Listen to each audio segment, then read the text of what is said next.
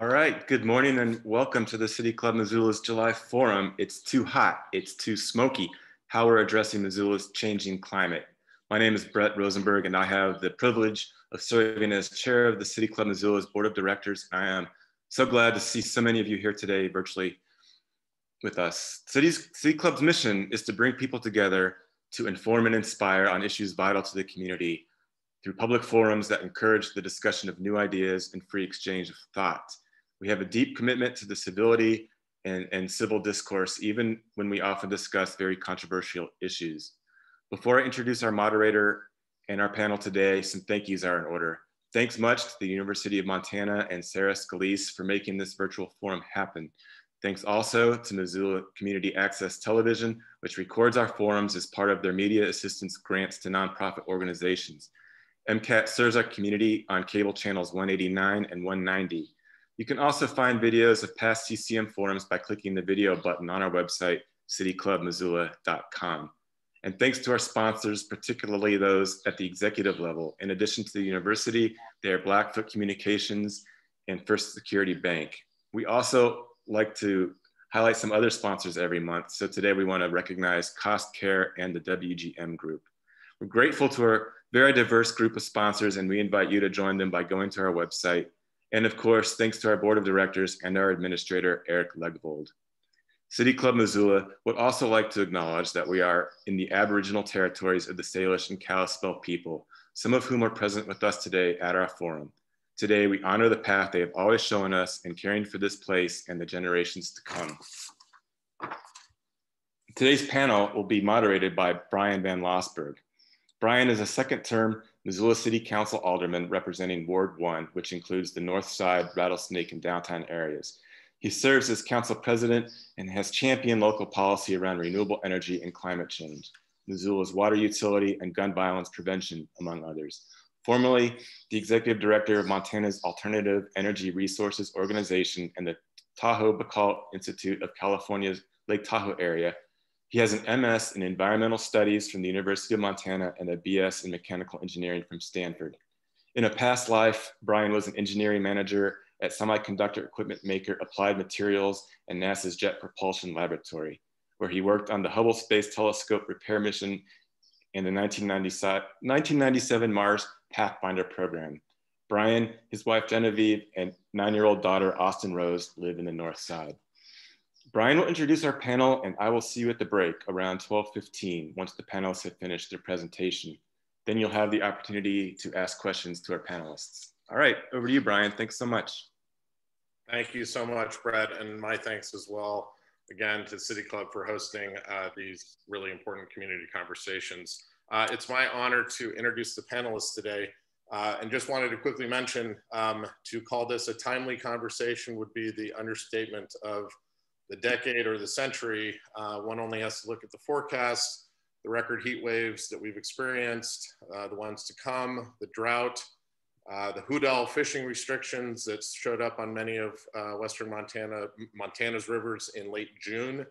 Uh, and it makes me think a, lot about a slide I saw from Dr. Steve Running at UM about the trend over the last 100 plus years in our area with days above a certain temperature, I believe was 90 degrees, and days below uh, a certain temperature, uh, some, some negative number. And the trend is indisputable, uh, hotter days and less uh, really cold days. Uh, and I'd be remiss in not mentioning this is the time of daily emails from Sarah Coefield that uh, I don't think I could get through the day without. Um, so again, this is a, a, timely conversation. And with that, I wanna introduce three panelists today. Um, Amy Cilimburg is the executive director of Climate Smart Missoula, where she leads a team that engages our community in climate actions, catalyzing efforts to reduce our carbon footprint and build a resilient Missoula. Amy helped launch Climate Smart in 2015, following efforts to develop Missoula's municipal and community climate action plans, and has worked on climate and energy policy at the local, state, and federal levels for over a decade. Amy holds a Master's of Science in Wildlife Biology from the University of Montana and previously worked as the Director of Climate Policy and Bird Conservation with Montana Audubon and as an ornithologist with the University of Montana. Next, I'd like to introduce Caroline Lauer. Caroline is Missoula County's Climate Resilience Coordinator, where she oversees the implementation of climate adaptation strategies across the county. Prior to joining the county, Caroline was the program director for Climate Smart Missoula, where she worked on a variety of local climate mitigation and resiliency efforts. She holds a master's in urban planning from Harvard University's Graduate School of Design and is grateful to spend her days working toward a more resilient and equitable community. And then finally, I'd like to introduce Diana Maneta. In her role as Sustainability Program Manager for Missoula County, Diana is responsible for the county's efforts to address climate change. Diana has worked in the field of energy and climate for 15 years, including previous positions as Executive Director of the Montana Renewable Energy Association and as an advisor at the California Energy Commission. She has a master's degree in energy and resources from UC Berkeley. And lastly, I'd just like to say what an honor it is for me to share the stage, so to speak, virtually with Amy and Caroline and Diana. I've worked with all of them for years, even prior to being elected to council eight years ago. And we could not have a smarter, more dedicated, and more empathetic group of professionals working these issues in the community. As a policymaker, as a concerned and engaged member of the community, as a husband, and as a father, I'm exceedingly grateful that they make Missoula their home and work on these issues. So thank you. And with that, I'd like to turn it over to the first of the presenters. Uh, take it away.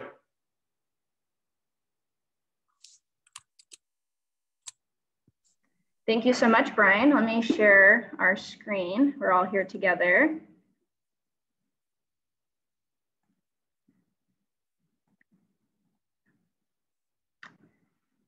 All right. Well, Brian took a few of my first opening points, but welcome everyone. We're so happy to be here to talk with you all today virtually. And our presentation, It's Too Hot, It's Too Smoky, really does feel like it couldn't have been better timed as smoke arrived in our valley this weekend and it's in the forecast for the next few days. And I know we've all kind of been struggling through the, the extreme heat that we've seen so early this summer. Again, I'm Caroline Lauer, the Climate Resilience Coordinator for Missoula County, and today we'll be discussing what a climate resilient Missoula looks like and what we can all do. I'll frame our discussion. Amy will offer a concrete example of current climate adaptation efforts, and Diana will discuss what Missoula is doing to eliminate carbon pollution and how we still all have a choice to make about the future we're going to see. So many of us who have been to any sort of climate presentation have seen one of these trend graphs. Brian mentioned it in his introductory remarks. Um, but today we don't really have much interest in these abstract graphs because the truth is we are experiencing the effects of climate the climate crisis right now. Um, the effects are upon us and uh, they're occurring in this very moment. So to that end, we have a poll to engage all of you. Um, if uh, Sarah, you could cue this up, we'd like to ask what statement best matches how you felt during our recent heat wave? A, B, C, or D? Uh, whether you loved it, you made your way through it, or you hated it, or just uh, hoping there's not smoke. so we'll give everyone a few seconds to put their answers in.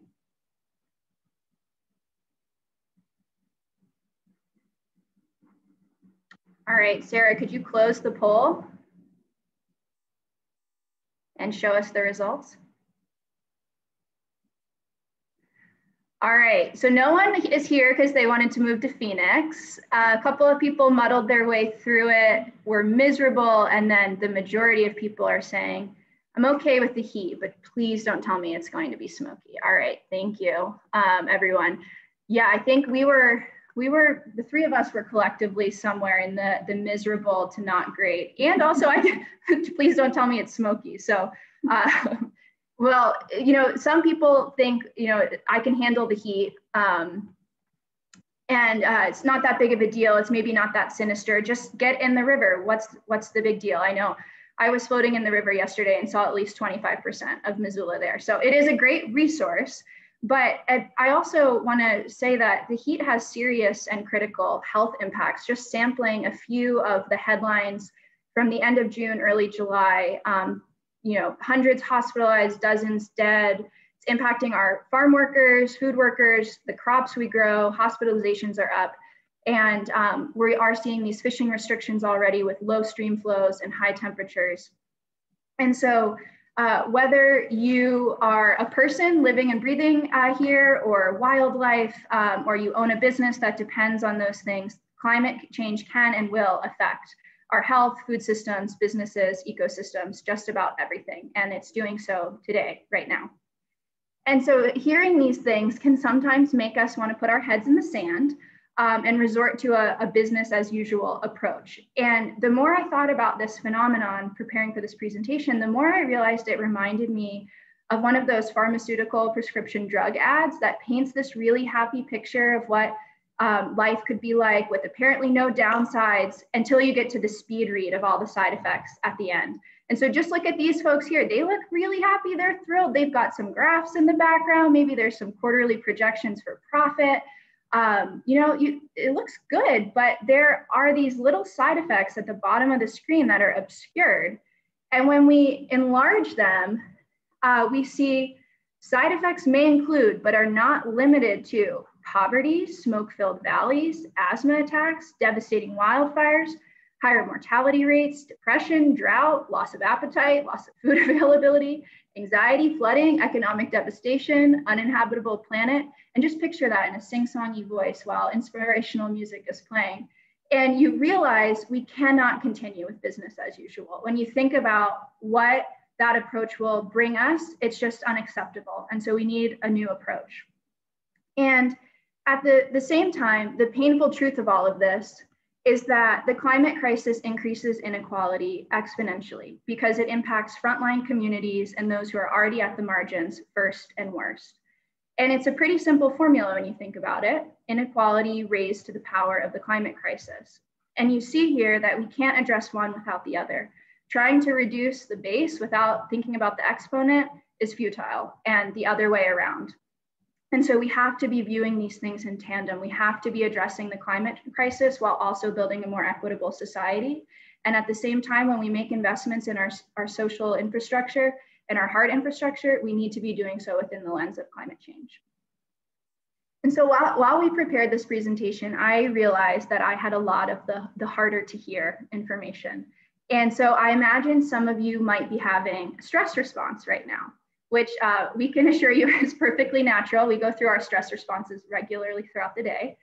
And we're, a lot of us are familiar with fight versus flight, which in this context might be something like, ah, I will solve this by myself, um, really independently minded, versus flight of, oh, climate change, what? Oh, I, I don't know, someone else will fix that.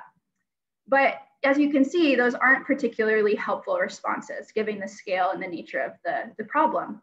And so I want to introduce and familiarize everyone with two different stress responses tend to the young and most vulnerable, and befriend and turn to social groups for support.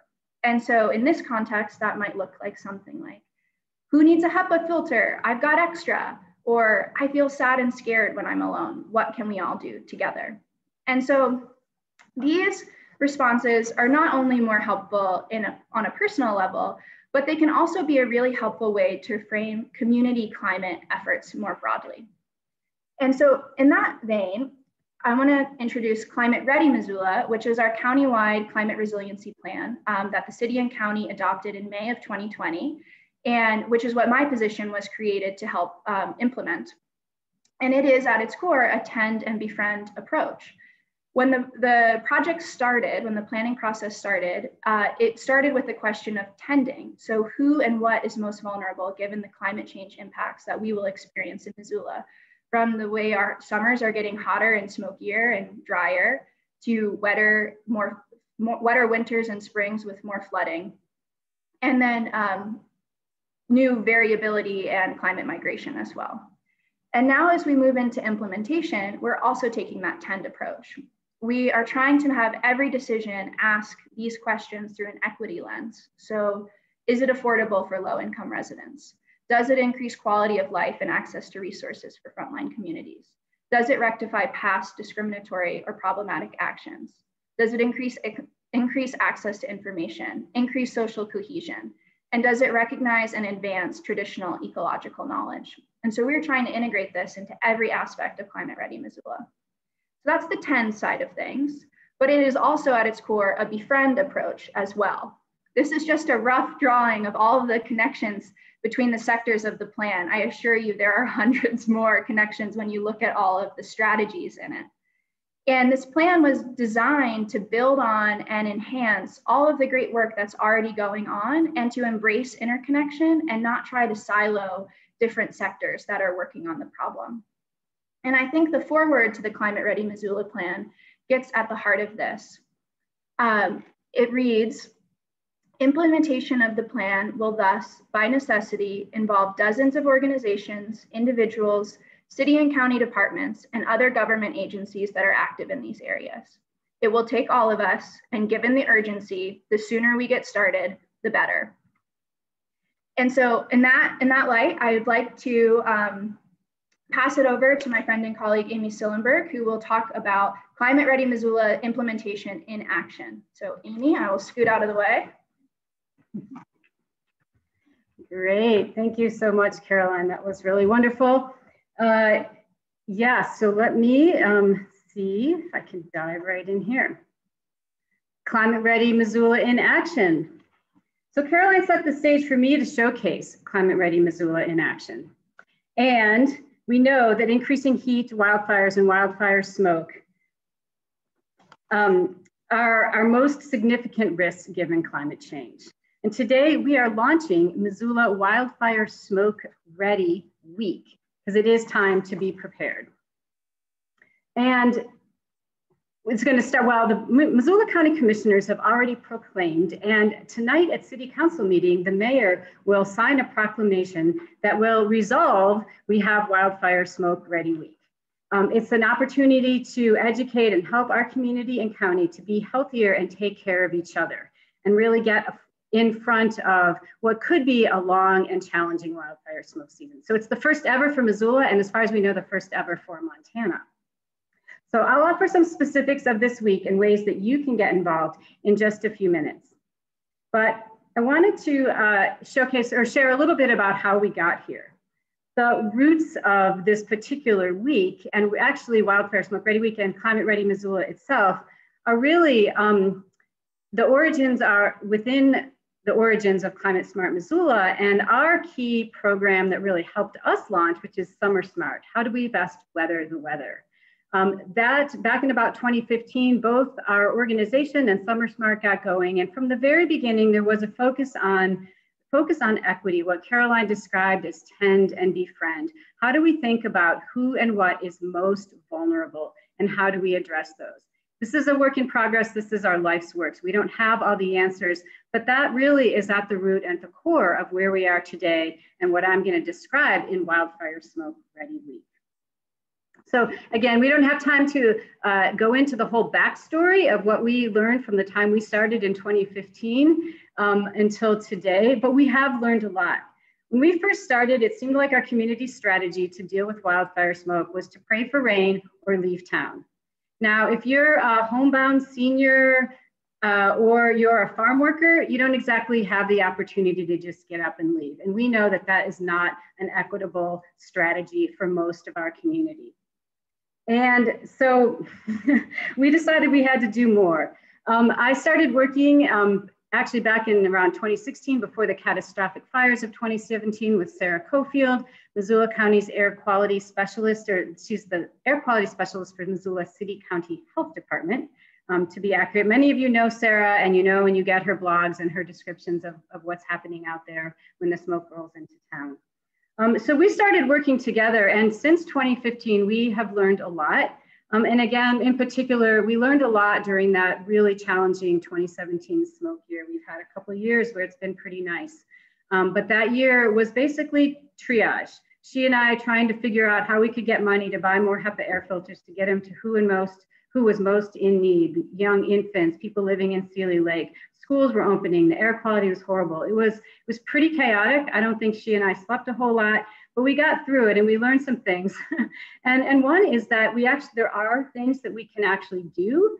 Um, and it's really better to prepare than react. That summer was one of complete reaction. And since then, we've built up a community and partners that can allow us to better prepare.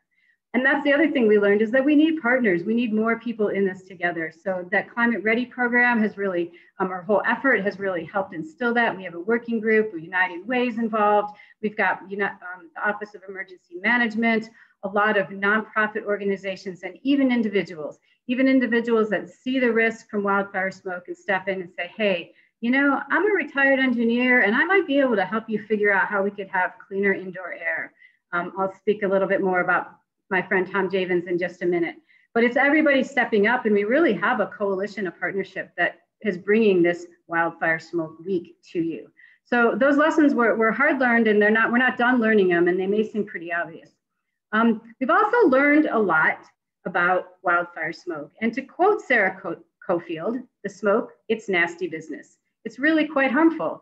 It gets into your lungs and actually into your bloodstream. And the it is the fine particulate matter, we call it PM2.5, and it um, burrows deep into your lungs, gets into your bloodstream, and elicits an immune, res uh, immune response and affects your heart, your lungs, and your ability to, um, your, your basic immune system. And it affects different people differently. Um, there are people most at risk, young children, babies, the elderly, people that have respiratory um, diseases or uh, COPD, different um, conditions for which, yeah, asthma for one, for which smoke is particularly harmful, but really um, it affects everyone. Um, the more we have, the more that there is smoke, the worse it gets, um, and the worse we all feel it. And worse still, it does get into our homes. That's something we've learned. All of this, the we is researchers from the University of Montana, the EPA, some of us doing this individual research ourselves, a lot of reading of peer reviewed studies, because people are doing this kind of research now around the West and around the country. Um, so we do know that there are harms, and again, I'm not gonna go into too much more detail than that, but we also have learned over the last few years that are things that we can do to mitigate those harms, especially regarding clean indoor air. We used to tell people to just go inside and then we had some air sensors and we realized that the air quality was actually unhealthy inside. But helping with our friend Tom helping us um, and folks at the University of Montana helping us too, we have two great recommendations. Um, HEPA portable air cleaners, I hope everybody listening um, has one of these or might go get one, or you can take a box fan and you can get a high efficiency filter from a local hardware store and you can duct tape them together. A couple more details than that, but basically you can build a do-it-yourself fan filter system. Um, these are things that we can do, and these are also things that we can do for our neighbors and for folks that don't have the means or abilities to go bring these into their home to make sure that they have clean indoor air. And then there are lots of other things that can we can do for commercial spaces or people that you know have forced air HVAC systems.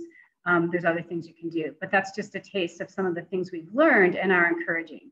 And that's some of what we are doing with our week. Wildfire Smoke Ready Week. So this is just a, a, picture of one of the social media posts that we have already launched this morning, um, helping people to get ready and going into detail about where the smoke come from, how you find out what the air quality is, um, how you can get yourself an air filter, and um, how you can help other folks do that same thing. So um, but in all of this work, what we do and all our, our media outreach that we've been doing, and then this week, we're directing people to wild, montanawildfiresmoke.org, which is a landing place, a website that just has all this information packed into it. Um, and we encourage you to go there and share this and share this with your friends. There's videos, there's little, all kinds of great things on the site. And really, it actually came out of the 2017 catastrophic smoke fire season. And um, it was an opportunity to share what we're learning with not just Missoula community, but with the county and beyond and all of Montana who experience smoke. So check that out and refer people back here. Um, some of the things that we're doing within this week of education and outreach, um, we were, Sarah and I had a piece, and Caroline a piece in the Missoulian yesterday. Sarah is going to have more pieces in the Missoulian this week about what to do. Um, we are on the radio. We are have public service announcements across different radio platforms. Again, trying to reach people that don't necessarily already plugged into this issue, reading Sarah's you know in-depth blogs. Um, we're hitting you with some radio ads. Um, social media, if you would like to join us, the hashtag is wildfire smoke ready. Um, and we'll be using that a lot and sharing it. We even have a place on our website where you can find all of the pre-made pieces that we're going to share on Facebook, Instagram, Twitter, again, to get the word out and help people understand um, there's risks, but there's things you can do. And we're pretty excited. We even have, hopefully this will work, our own jingle created by um, Missoula's own Travis Ross. It happens every year, and you should be aware of the particular particulates up in the air. The smoke comes in through the windows and doors. It makes your eyes, lungs, and throat so sore. But you can be so safe inside. Oh, if the air is filtered right, it happens every year, and you should be aware of the particular particulates up in the air. Visit MontanaWildfireSmoke.org for more information. So we hope you enjoyed that. So there are things that we're doing in Wildfire Smoke Week, and again, the We is a big partnership group. Um, you can help, again, the tend and befriend um, theme that we spoke about today. Um, you could go to montanawildfiresmoke.org and actually you can go into the About Us page and there's a way that you can donate and support. Money will come in, Climate Smart Missoula collects that and we can go buy more fans, filters, and HEPA portable air cleaners and get those out to people. Um, you could just, when you're going to get your own filter, buy two. This is my friend Pat. When he bought his filter, he bought a second one. He said, here, you guys give this to somebody in need. And that's all great. And we really encourage that. Beyond that too, though, we're a small organization, even the partnership within Wildfire Smoke Ready Week, um, there's only a handful of us.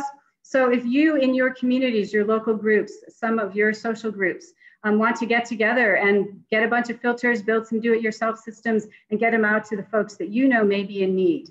Um, I know it's not that easy necessarily to know who's in need, but I think our community has really strengthened. We are more cohesive. There was a lot of work done during COVID and the economic downturn to figure out how we can reach out to those around us and help. And air quality is one of those ways that we can you know, really help our community members. So please take some onus upon yourself if that fits for you.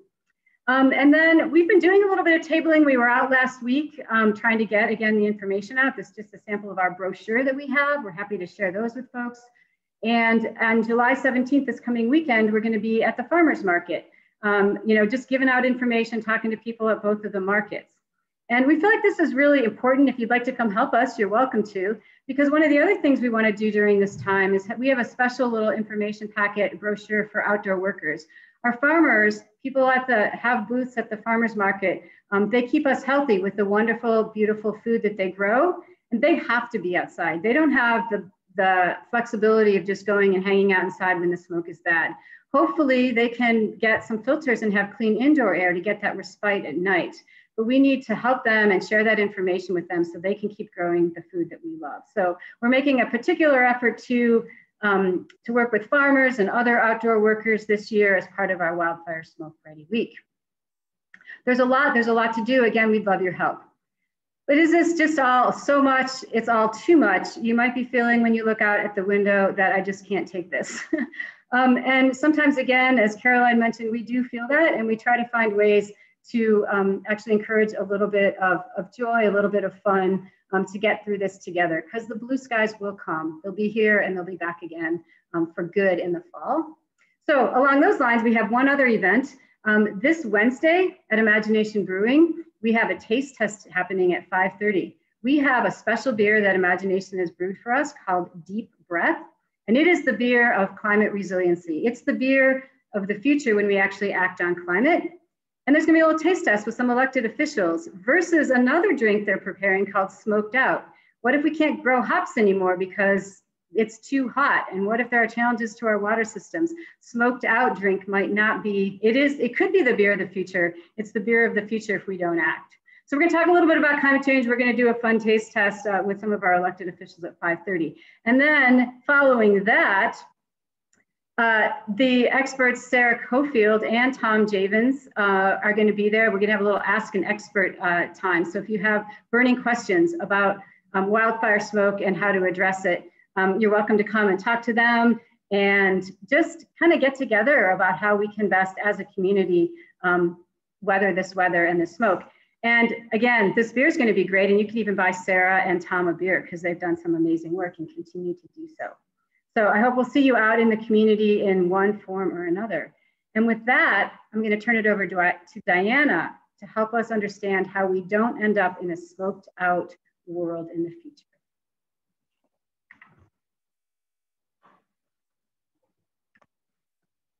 Thank you so much, Amy. And thank you to the whole team behind Wildfire Smoke Ready Week. It's so incredibly important to help our community prepare for these hot and smoky summers, especially given the climate projections that tell us that our summers are only getting hotter and they're only getting smokier.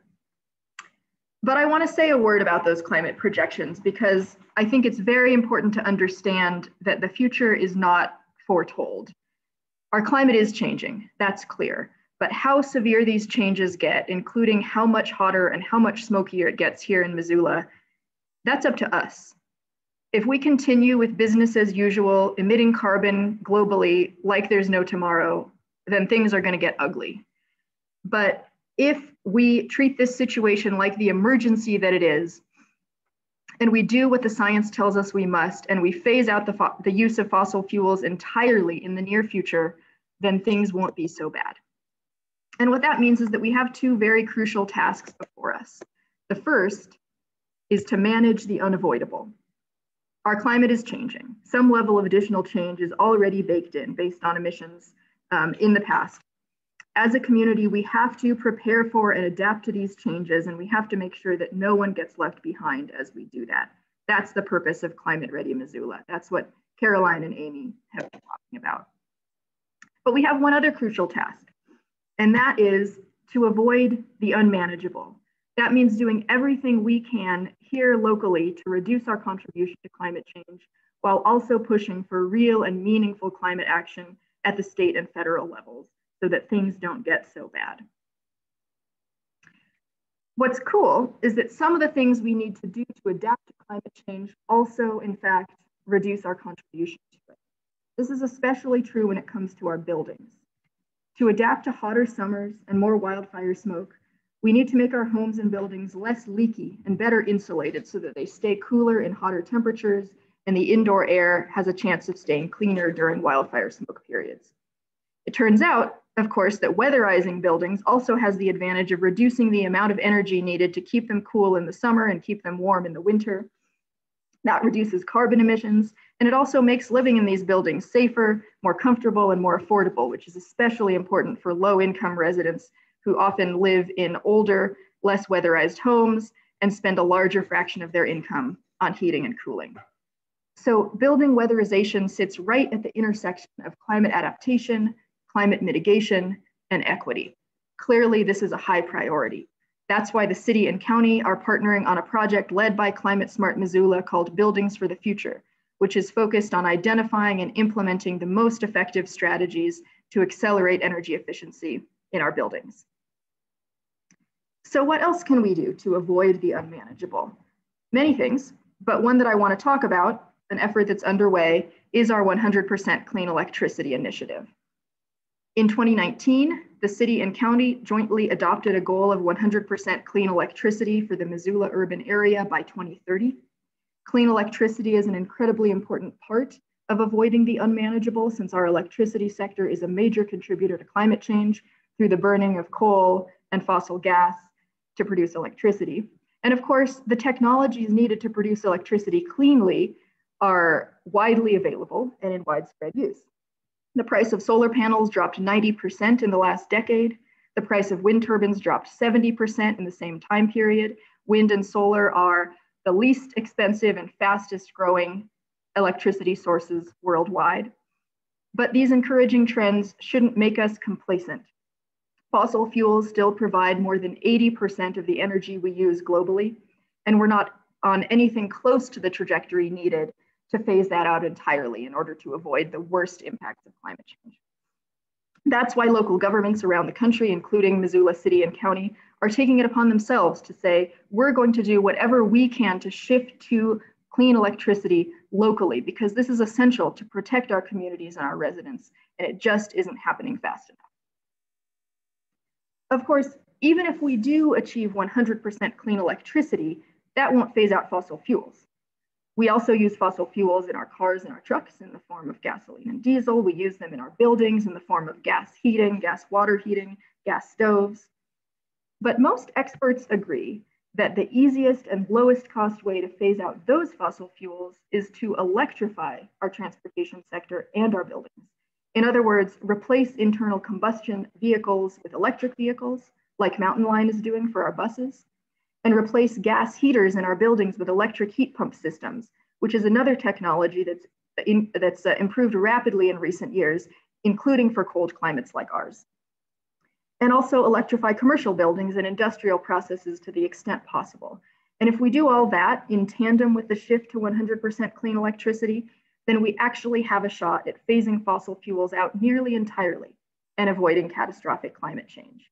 And we'll create millions of new jobs in the process. So back to Missoula. You might be wondering, how is our 100% clean electricity effort going? Well, I'll tell you up front that it's hard. The city and county recognized when adopting the 100% clean electricity goal that it would be a big challenge, not least because of the way our electricity sector is regulated in the state of Montana.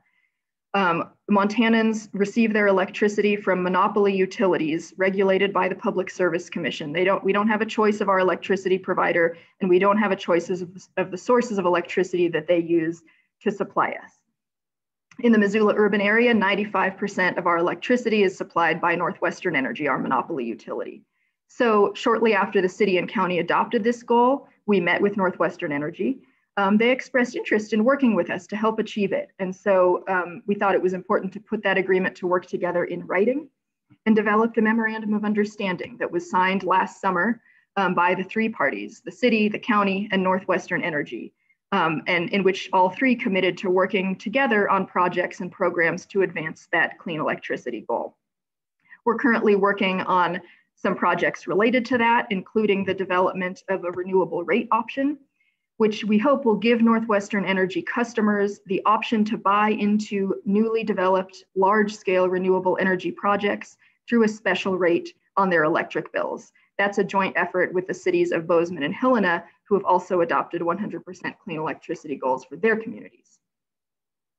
But it's also become increasingly clear over the months that the collaboration with Northwestern Energy isn't going to get us all the way to 100% clean electricity. We just haven't been able to find alignment on enough projects and programs to get us all the way there. That work with Northwestern is valuable, but it's very clear that the city and county will need to pursue other partners and other opportunities to accomplish that goal. In the meantime, Northwestern Energy recently submitted an application to the Montana Public Service Commission to build a new gas-fired power plant and recover the cost of that plant through customer rates. Missoula City and County decided to get involved in that PSC process as interveners, which means that we'll have a seat at the table and the opportunity to testify before the PSC as they consider this decision. That's really important because these decisions made at the state level clearly have implications not only for our ability to achieve 100% clean electricity, but also for the rates we all pay for electricity and the risks that we're all forced to take on as ratepayers. To sum it all up, as Tom Lutey put it in the Billings Gazette recently, it's not easy being green. But I know that the city and county are committed to doing what is in our power to achieve that 100% clean electricity goal because it's so essential to addressing climate change to avoiding the unmanageable. I've been talking a lot about what the city and county are up to, but the truth is that addressing climate change isn't just up to our local governments. It's not just up to our elected officials or to corporations or to experts. It's something we all have an important role to play in. And I'm going to turn it back to Caroline to talk for a minute about that.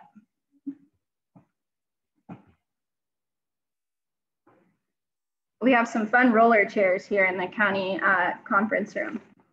Uh, so as Diana said, it will take all of us. Um, and the, the, number one question we get uh, is what can I do? And so we preempted it a little bit to talk with you all.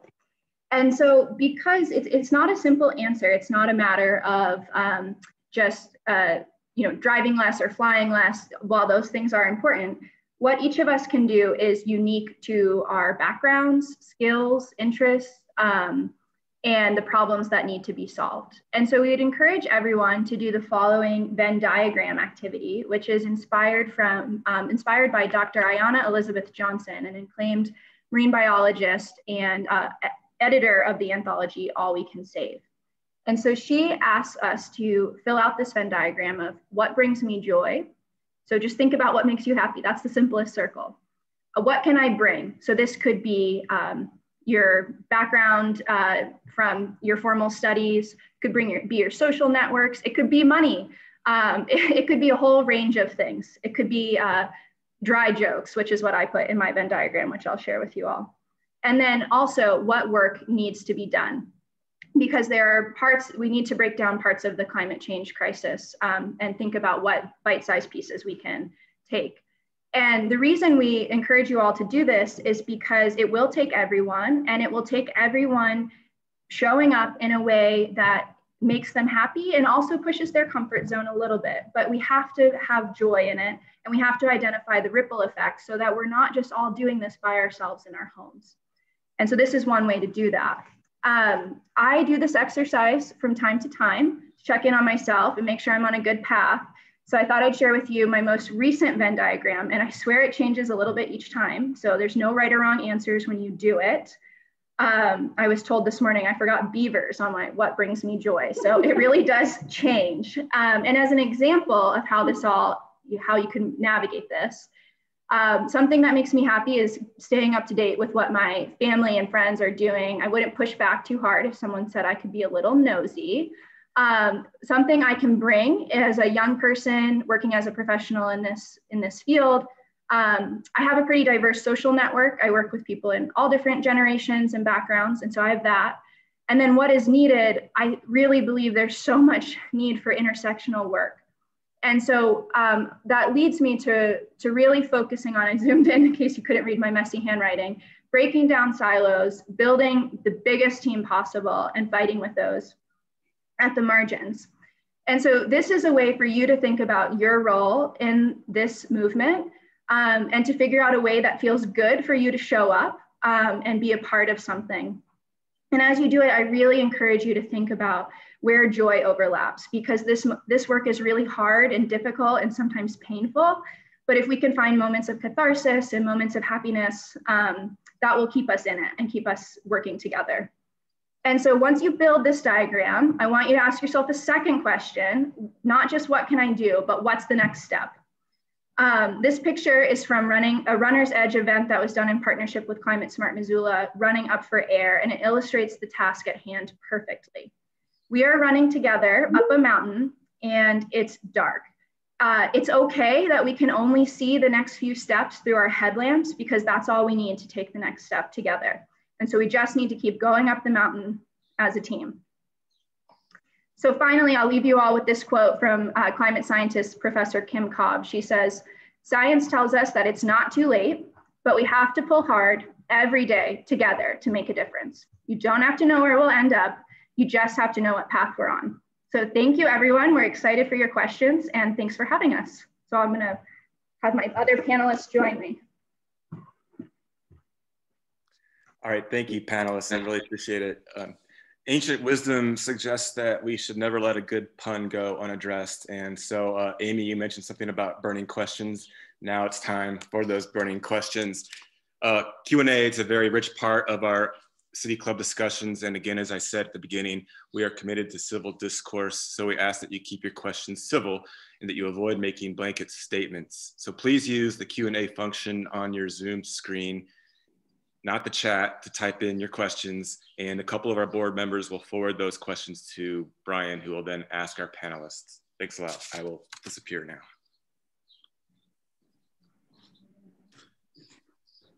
Thanks. Um,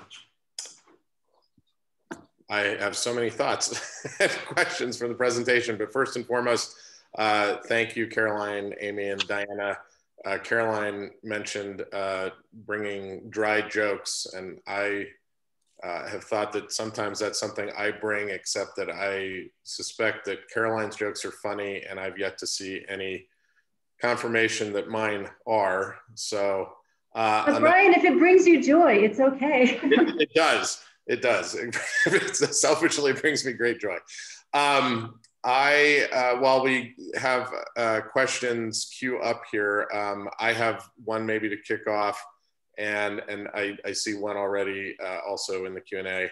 Um, so when I worked uh, for this very large semiconductor company, supervisor I worked with talked about the challenge, and I've I found this challenge in every organization I've been in, uh, whether it's been a nonprofit environment, uh, for-profit, uh, government, you name it, and it's it's a balancing question about how we approach what my old supervisor called the dailies, which are sort of the what I think of as the daily tasks, and I think we're often always overwhelmed by there being too many dailies uh, let to, to just get through alone, let alone think about the other grouping that he called, you know, the strategic uh, sort of issues. And I'm curious if any of the three of you or all three of you have any wisdom or practical advice on how you balance um, the dailies and the longer term strategic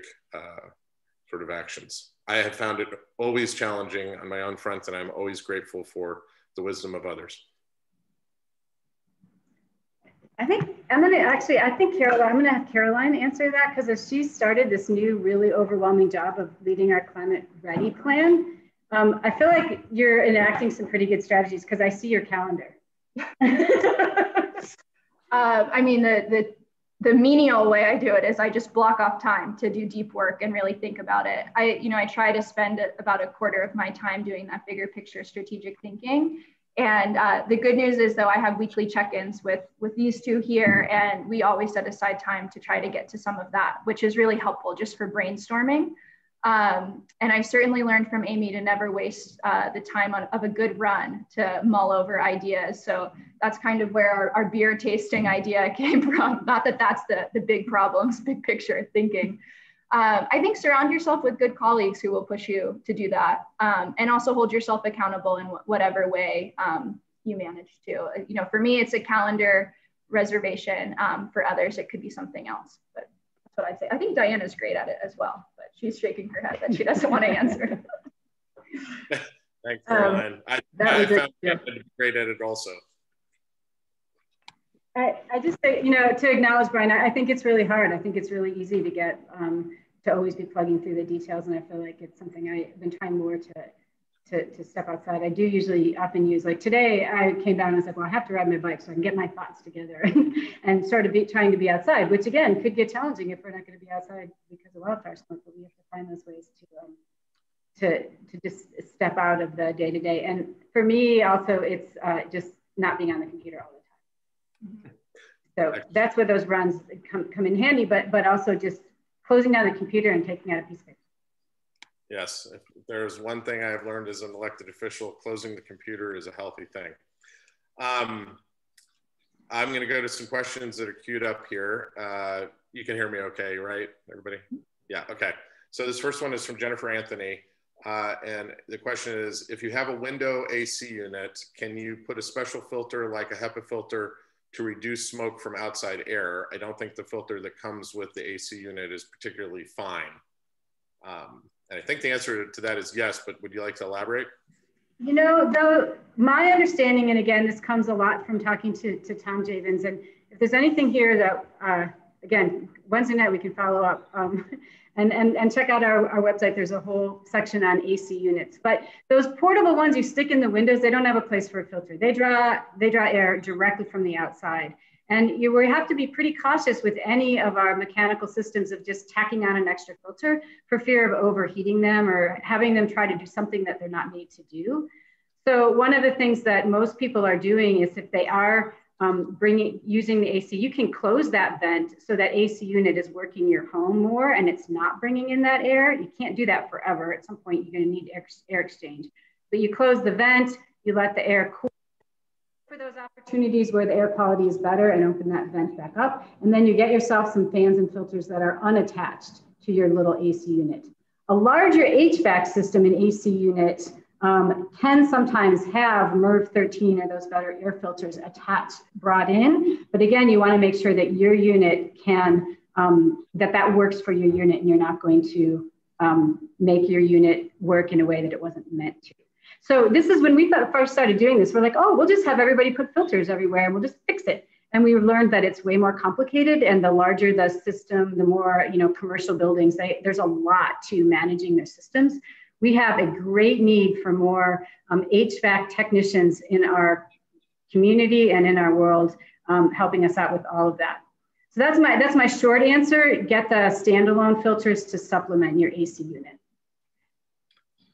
Thanks. And, and you may have covered this already, Amy, but same uh, question on the same topic from Dave Oberling, um, Oberbill. Curious about the box fan and furnace filter idea. How much does it clean compared with a HEPA yeah. filter? What are the components of a HEPA filter that could be added to clean it more? Um, anything to add? Yeah, those are great questions. Um, so we didn't we didn't have time, and so I'm glad these are coming up in the Q and A because I really wanted to share a little bit about what we've learned. So so maybe just a quick step back. Um, Tom Javins, who I've mentioned, he, you know, we've wanted to say, hey, just put a filter by a fan, but what if it wasn't safe or effective? The safety being, what if you st uh, stick a, a filter on a fan and it overheats the fan and causes a house fire? That's not okay. Um, so Tom um, spent a whole winter, two winters ago, you know, in his basement doing all these tests. And as a good engineer does, he like repeated his tests over and over again. And basically, the end result is that um, if you put the the filters on the back of a fan, turn the fan on, the air will get pulled through. The fan should be about, you know, pretty new. The ones that are more than 10 years old might not have a fuse within them. So get a newer fan, um, attach them there. And then what we realized is that they are effective. We did some testing about the basically the air, how often, how long it takes to return the air. Exact numbers are all going to depend on how big is the airspace that you're trying to clean. If you have a big room with cathedral ceilings, it's going to take more of those fans or more time. But they do work. Um, you have to close the windows um, and, doors and, and kind of get that room to be as small, and then you run that fan, and it may take a little bit longer than the fancier machines, but uh, over time, it basically the air just gets turned around, and more and more of the air gets pulled through there, and it ends up getting cleaner. We're not talking about purifying your air. We're just talking about getting it cleaner and getting it to a place where it's healthy to be there and be inside. Um, we have even on that on the website montanawildfiresmoke.org. If you go to the clean indoor air, we even have little videos about how to do it and some more information from Tom. He goes into um, you know which kind of filters you want to get and things like that. So we do encourage people to uh, poke around a little bit. Um, you know, one of the challenges we get, um, the, maybe the last piece on this is you know, what if you really do need to open your windows to get some cooler air in? One of the biggest challenges is, you know, how do we address clean indoor air where you have to shut your uh, doors and windows with the fact that most of us cool our homes, or many of us cool our homes by bringing in the cool air at night. Um, some people have been exploring putting a fan with that filter attached to it right in the window. So when the air first comes in, it's cleaned. Um, that's one possibility. Um, you know, you may be that you bring in a little cool air, your, your indoor air is a little less clean, then you shut it down and then you run these filter systems. But what we know is they do work. We've had air sensors inside and we've watched the air levels, the PM 2.5, um, the particulate matter just dive down pretty quick. So if anybody really wants to set up these systems and know, they can even buy some of these little PurpleAir units in their own home and do their own air sensing. It's not an exact science, but it works. Thank, thanks, Amy. Yeah, that's exactly the challenge uh, I know we're facing in our home is that we always, you know, try to bring in that cool air at night. And I know that we have one of those units. I've invested in the PM 2.5 monitor. So we'll share our family data with you all because we're going to definitely be working on bringing air in and then trying to clean it. I know the how the how quickly you can exchange the air is one of those metrics with the units. Yes, yeah, and you know the fancier units that you buy, the HEPA portable air cleaners that plug into the wall, they they have ratings when you go to to purchase one. It will have it's called a CADR rating, clean air delivery rate, and it will tell you how often it changes the air on. But again, it's going to depend on the size of the room and things. So. Um, you know, at this point, if it's going to be a couple months, I know I just ordered an extra HEPA filter, and I'm getting an extra. I'm just going to get, you know, do what you can. Um, and and I do I feel like that's a great point, Brian. If we're if some of us do have the ability to you know do a little experiments in our room or figure out what's work, it'd be great to share that because we're all learning. A couple years ago, we weren't even we didn't even realize that a fan filter system we could recommend it. Um, but you know, thanks to Tom's work, we feel like we can, and we feel like it's a really good option for folks. The final thing I'll just say about that is that if we have a, a good long season of smoke, you probably need to replace that filter um, that's attached to your fan, you know, maybe once. You, you, just look at it. If it gets really dirty, then you might have to get another one. Yeah. Um, so that's really important too. Thanks. Um, important question here from uh, an anonymous attendee.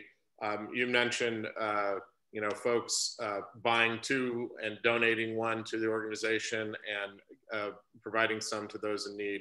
And one of the questions is, how are you identifying people in need of smoke filters? Yeah, thanks. Um, so again, we're, we're not by nature climate smart a social service organization. We don't have, you know, income verification systems set up by any means. And so our approach to all this has been, um, let's let's use and build the trust we have in our community. Some of the folks, the, the first project we have was working with we, Meals on Wheels program, where they have already identified folks that could really use our services because um, some of their, their clients have both health issues and you know they would recognize they didn't have the means to purchase.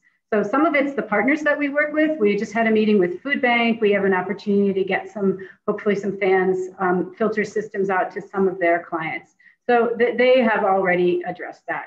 Um, and you know, to some degree, there's also a, a little bit of, of distrust involved. And somebody has approached us and said, you know, I've got a preemie baby. I just came home from the hospital. I don't have any money. We try to help, and and we hope that there's a pay it forward uh, sentiment that that person will then carry on.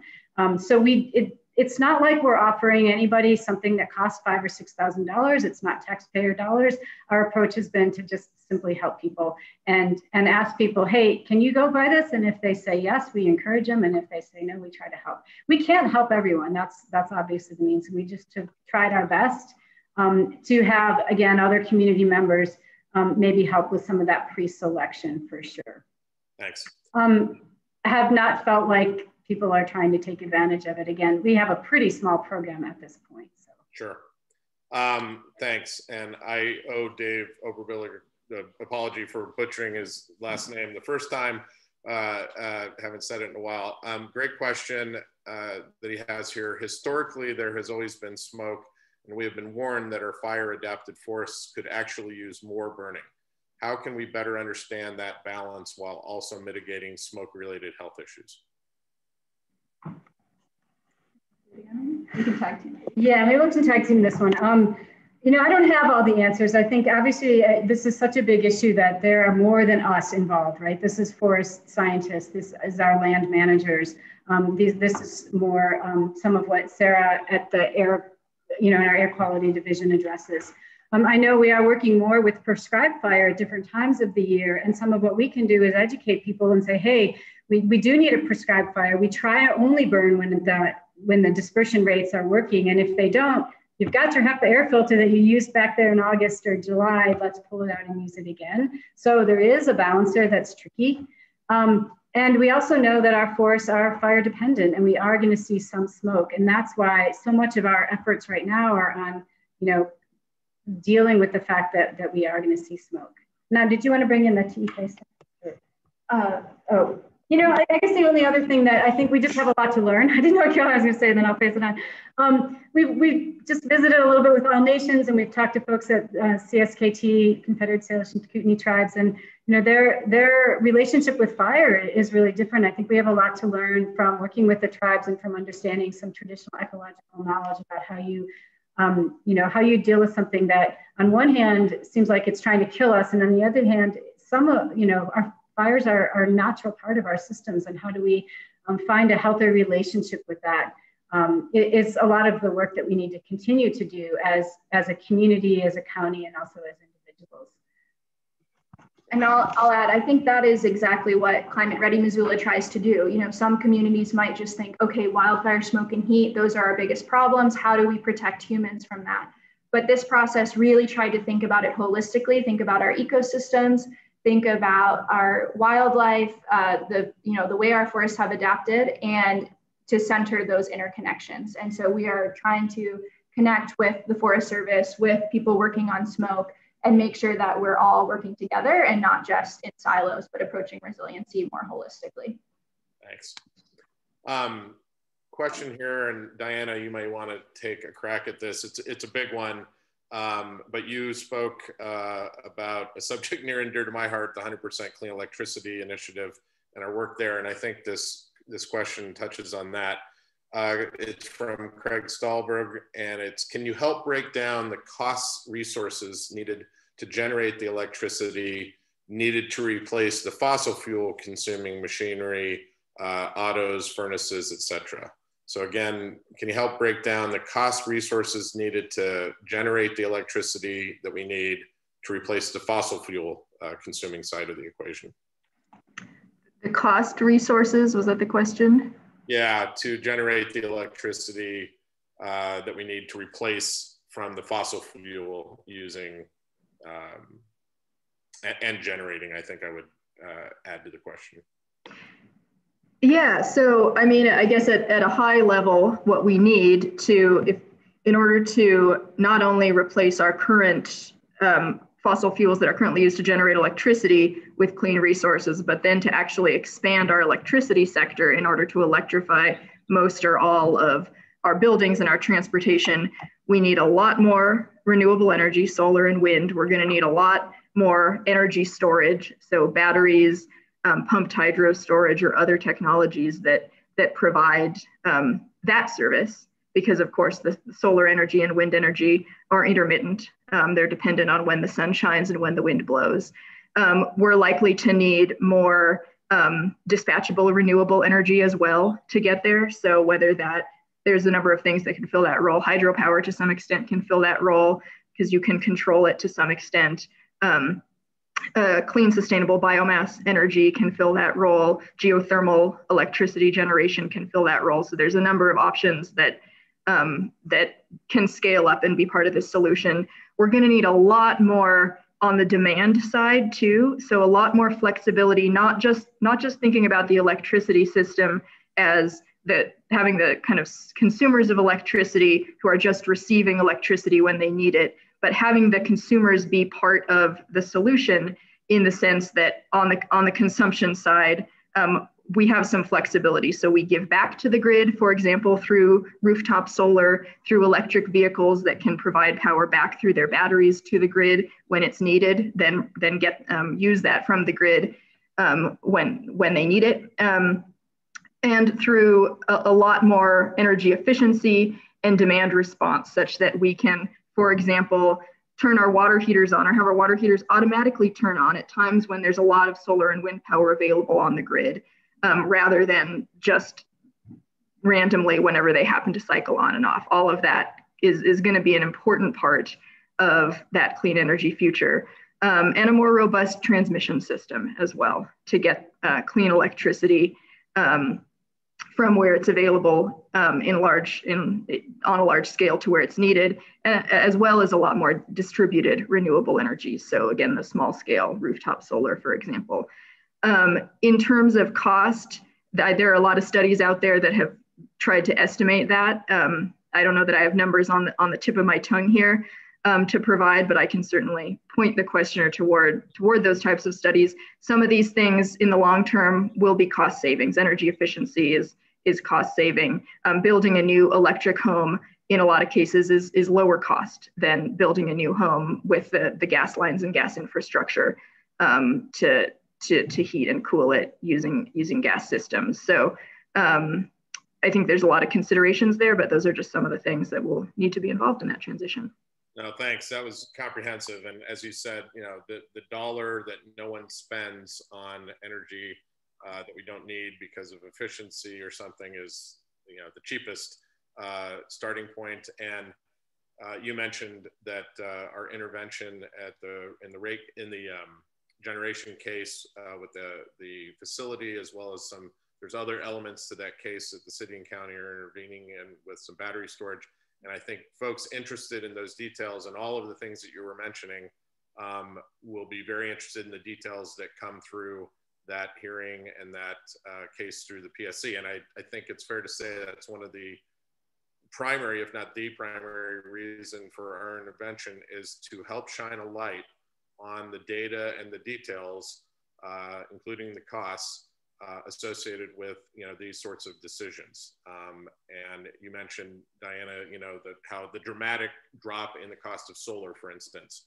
uh, we're seeing that same uh, kind of trend with wind power, and so it, it's really important that everybody you know pay attention and see uh, the true sort of relative costs and, and benefits of these, uh, particularly the re renewable resources, which are winning the cost you know, benefit uh, sort of argument uh, across the country uh, time and time again. So Thanks. I'm going to move us here to a couple more. Uh, Lynn Woodfields asks, is there any kind, and I, I have, I confess, I have thought about this a lot too. Um, is there any kind of technology that can actually pull smoky air out of the climate on a mass scale? Um, yeah, if, if, believe me, even people have thought about that too. What if we just put some big fans on the top of Jumbo and blew it somewhere else, right? Turned it around. Um, uh, yeah, I, I don't know that we have that for, for wildfire smoke. I think we have, um, you know, I think foresters will talk about forest management. There's nothing that pulls that air out um, until it gets into a building. Um, there are things we can do. Um, you know, we've gotten pretty used to masks in this last year and a half. Cloth masks do not work for PM 2.5, but N95 respirators, those small ones that have the two straps that can seal up pretty tight, they can work if it, if it means that you're then a lot, you know, more able to be outside um, when it's truly bad. Um, so yeah, I, I, haven't heard of anything. um, you know, let us know if you do hear of anything. Um, I, I, think the, the other point is just to make sure that you're really paying attention to the air quality. There are times where it seems like it's really smoky out and those smokes could be, uh, that, that haze could be really high in the sky and actually not necessarily affecting us with PM 2.5 high levels. And so don't crawl into your closet and plan to stay there for three months because there are times where the air quality is pretty good. There are times where the wind's going to blow and it's going to blow out and take that opportunity to be outside, be in your garden, recreate, get together outside. Um, so, so the smoke will, if, if the fires burn, and again, unfortunately, our, our valley, we, we get smoke from California all the way up through BC, it's going to come here, but we just have to, um, there, there are ways that we can kind of manage our, our activities around so sorry if that wasn't Thanks. yeah. answer. No, no, the, the, the, mass scale device. I think I'm uh, influenced by reading many Dr. Seuss books with some sort of contraption that would uh, would help us on this front. Um, and I think you just touched on this, Amy, but maybe uh, hit it again from John Torma. Is the KN95 face mask that we've all come to know and love during COVID-19 effective for filtering smoke particulate? So, so the material in a KN95 is that it does filter out the 2.5, but those masks aren't meant to really create quite a tight seal. Um, so it sort of depends on, on what you're what you're looking for. That the N95s have a tighter seal, so when you go, they, they you know then you know you're not getting any. But again, are you trying to purify it or just bring in some proportion of, of, of, cleaner air? It's tricky because if people have difficulty breathing, maybe you have you know asthma or something, wearing a respirator like that is, is harder. You're going to have to breathe deeper to get the air in, and that may not work. So I, I think trying out some of those can, just trying to get a pretty tight seal might be helpful. It's just not going to be a complete panacea, and we're still trying to figure that out. Um, I, would look that Sarah Coefield from the air quality um, team here, she's going to be putting out some more information on the county, you know, city county health department's website and in the Missoulian with a few more details around that. Because, you know, I, I am not a, a, health professional air quality specialist, but that's kind of what we've been thinking about at this point. Thanks. Um, Russ Fletcher asked, what level of MERV filter should we buy? And perhaps you have more detail about those on the website or anything to quickly share? Uh, that's a, a, rating I'm very familiar with from buying filters. Yeah, it was a rating I didn't know anything about four years ago or something, but MERV 13 is ideal for uh, attaching to your filter. The, the higher the number, the more it filtrates out, but 11 or 12 will work. They will help clean your air. What you don't want is like an eight. So go for the higher number and stay, and yeah, just go for the higher number. Thanks. 13 is uh, good. Holly Rollins asks, the presenters mentioned going for a run. Where do they go for a run in this air quality? And I might amend to that question um, because I, I, find this relative to you know activities we plan with our nine-year-old daughter, uh, and and you know to, to partially answer perhaps from our perspective, this is where one of the many ways that the information we get from Sarah Coefield in her emails really helps us uh, because we wind up learning things and then being having resources available to us to look at how things changes how things change during the day and and regionally and locally and then we wind up planning around that. But um, that people would be more interested in your answer Yeah, I mean, you you hit it, Brian. The air quality changes frequently, and so if you can find a window to get out, um, please do so. And also, while wildfire smoke is universally bad for all of us, some of us have more acute, immediate responses than others. For instance, my partner's really sensitive. She cannot go outside when it's unhealthy for sensitive groups, would not run. I could maybe do a brief 20 or 30 minute run then. And that's just kind of getting a sense of your own um, comfort. And then I'll also say it's really important to have diverse coping mechanisms. Um, there will be some days where you can't really do that high level activity. So whether it's doodling or reading or putting on a really nice lotion on your hand, my therapist told me that once, can be really calming. And so finding things you can do inside at any point is really helpful. Thanks. And I uh, want to thank Sarah Coefield. She wrote in, and you mentioned some of this, Amy, but I just want to read this for the benefit of the audience. This was the answer for John. Uh, KN95s have the same filtration for smoke that N95s do, but because they have ear loops instead of headbands, they do not form as tight of a seal to the face, so it's easier for polluted air to come in around the sides. If you use a KN95, make sure it has a tight seal to the face. Um, so thank you, Sarah. Um, just wait a quick thought. One more thing about the, the where to go running. I mean, the other thing that's kind of interesting, you know, everybody's gonna have different capacity to do this. Um, you know, the best thing for somebody who's pretty tied to town with family or work obligations, you know, maybe you get one of those bike trainers and so you could just ride your bike, um, you know, next to your air filter inside when you really need some exercise and you need to get your frustrations out. Um, the other thing we've done over the years on the air quality section of montanawildfiresmoke.org, there's some really cool maps where you can see where the smoke is headed and you can see where it is. And sometimes I've been surprised over the years. It's like, wow, it is horrible here. Dang, there's no smoke in St. Regis and we went on a hike in a different direction. And had we gone down the Bitterroot, we would have been choking. So, you know, really it takes a little effort. It again depends on your capacity, but trying to get out on the weekends, maybe going in some direction where there isn't smoke, if, if that's um, one way to do it, being a little bit more creative.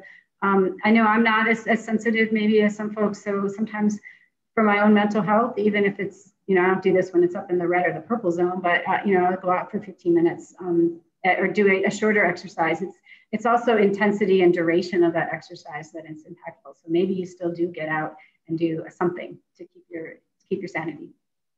Thanks. Uh, very logical uh, set of questions from Lisa Biskevich. Is Sarah Coefield's e air quality update email on your website? I think meaning the Climate Smart website. And how can people sign up for these updates? It is on the MontanaWildfireSmoke.org website. Is there a sign up page there? It goes, there's a link to the county. I will right after this make sure um, that that's very clear and that's right up there. Because yeah, what Sarah will do is she has she has a list serve and she will um, just blast it out directly to folks. You can always find it on her on the air quality um, web page of, of the City County Health Department's website, but you can get on her direct list and have that come right into your into your you know email feed. Um, we'll make sure that that's really clear. And Sarah, you're out there. We should just have you up here, but uh, but type something in the chat if you would like um, if you would like to share anything more than that. Thanks.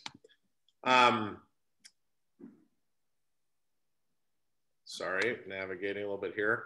Um, this was not posed as, as, a question, but I think it's a, it's a good point for any of you to respond to. It's from John Pillsworth. And it's a statement we always argue about should we mitigate the problem or try to make the complete change necessary to, to help solve the problem. And when I read this, it immediately brought to mind um, the, uh, the comments about managing the unavoidable and avoiding the unmanageable. What would you like to, would any of you like to expand on that? Sure. Yeah, that's exactly right. I think the answer at this point is we just have to do both. Um, you know, from a personal perspective, when I started working on climate issues 15, 20 years ago, it seemed like maybe we could get away with just mitigation. Maybe we could avoid climate impacts on a large scale. And if we acted quickly enough, and that didn't happen, right? So now, 15 years later, we're in the situation where the impacts are are getting pretty severe already. And so very clearly we need to be managing those impacts, but there's still so much room left to avoid um, much, much worse impacts. And so I think there's just no alternative but to, to do both. Anybody want to add anything? Thanks. All right. And Sarah uh, wrote in, and um, you can email Sarah at uh, S Coefield, S C O E F I E L D, at Missoula County altogether.us to get on her list. And you can find the updates online uh, at Missoula County, again, altogether.us forward slash current AQ, C U R R E N T A Q for air quality. Um, thank you, Sarah. And uh, a couple other questions here uh, from Linwood Fields. What do you think about cloud seeding to help prevent drought?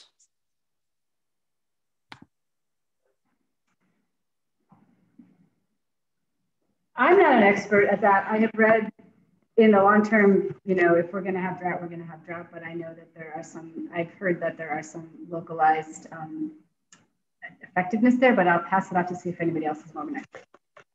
Uh, you know, I think I'm inherently skeptical of some of those geoengineering approaches. I would say let's focus on solutions that we know work and are really healthy for our ecosystem. So, can we expand natural storage? Can we do beaver mimicry higher up in our watersheds to keep water in our watersheds longer and for longer parts of the season? These are solutions that we know have a ton of potential we are aware that there really aren't many downsides. It's just a matter of implementing them. So I, am focused on more of those issues than um, than the, the cloud seeding, which honestly I don't know a ton about, but um, that would be my instinct.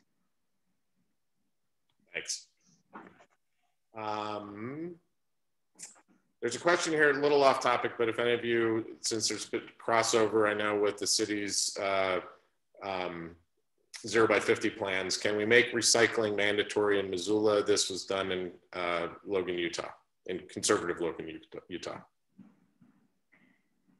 You know, we don't, yeah, we don't have the, the, um, the new city, uh, the Rademan, who is the new Chase Jones at the city. So um, she, I think her title's a little bit, it's climate action specialist. action specialist, right? Thank you. She just got a um, an improved title anyway, um, would be the best person to speak to that. And so you could, you know, email me. I think there's there's definitely an interest in including lots of zero waste efforts in all of this work.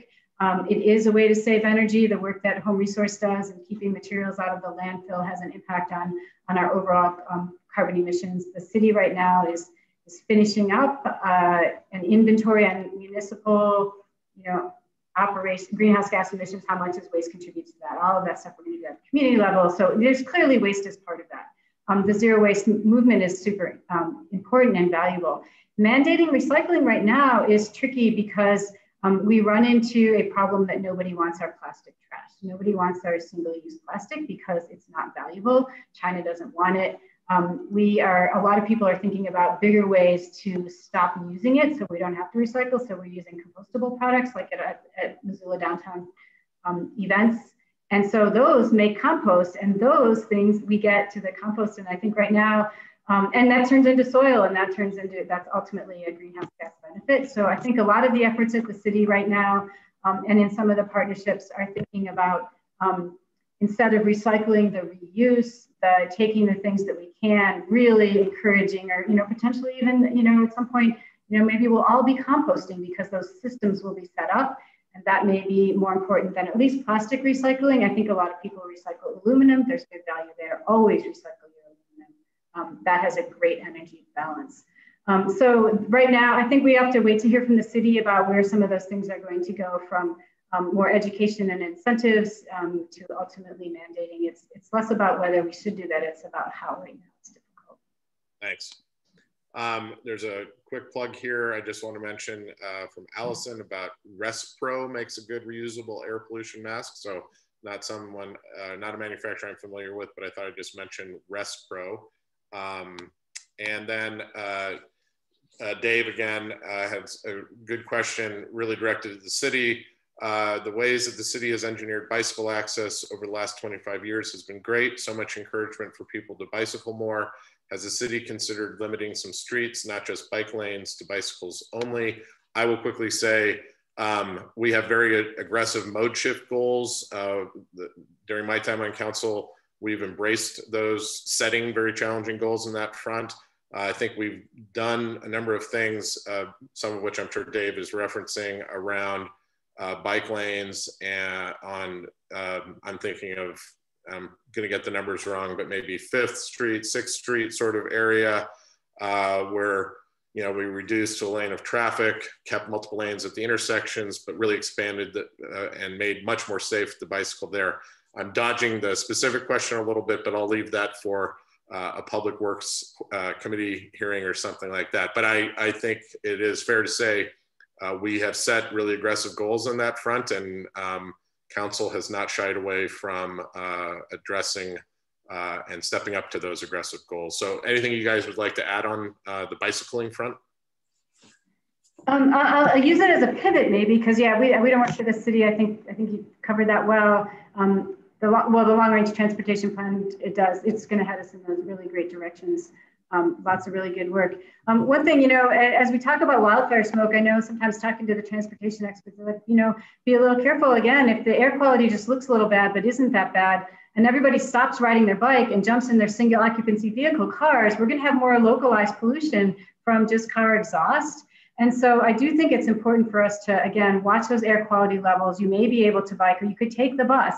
The more of us, the, the bus is safe now, more of us jumping back on the bus um, is a good way to get around. There, we're getting more electric buses all the time, and that's a good low emissions way to get around. So we do want to think about sometimes, you know, when we're, we're doing things for our own health, how does that impact our community? Um, try to keep walking, biking, and busing as best you can, even during the smoke when it's when health allows. How's that for a pivot? That's great. We've wrapped up our, our we've wrapped up our questions. I think we're pretty much right on time. I'll, I'll use a brief opportunity to thank the three of you again. Uh, and I want to thank all the folks at City Club, uh, Brett and everybody on the board, also folks that helped make this happen, uh, Eric and Sarah and several other people I am failing to name. Um, but uh, thank you. And with that, I'm going to invite Brett back back. Thank you, uh, Amy, Carolyn, Diana, and, and Brian. It's a extremely timely and important presentation you've, uh, you've provided for us. Uh, and I, am extremely grateful. And uh, I'm also grateful to you, our audience, whom I can't see, but I, I know you're out there. Without you, this would all be pointless. So thank you for, for giving us your time. And again, thank you to our sponsors, especially the University of Montana, First Security Bank, and Blackfoot Communications. I hope you can all join us on August 9th for our next forum, which we hope to have in person once again at the Doubletree Hotel. We're still working out some details, but it looks like it will be our mayoral candidate forum. Uh, please check our website and our Facebook page later this week for more information as we have it available. And with that, I bid you all goodbye. Thank you so much. Thank you.